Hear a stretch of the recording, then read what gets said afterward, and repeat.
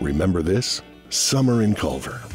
Well, don't let the cold keep you from the best of the season. Strap in and find your groove with cross country skiing. If it's wildlife you're looking for, follow the pack. The great outdoors is right in our backyard. Warm things up with old friends. Let us lure you in and you'll be hooked.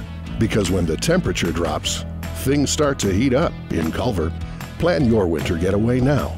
Visit cometoculver.org.